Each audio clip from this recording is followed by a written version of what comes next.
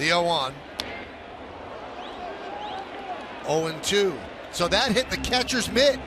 Catcher's interference that Wow. will force in a run. Did it And the. Yankees are on the board. It's 3 1 Astros. Well, he swings the bat so late. We've talked about it, and it just, you know, this was a breaking ball. Very, pretty good pitch to hit.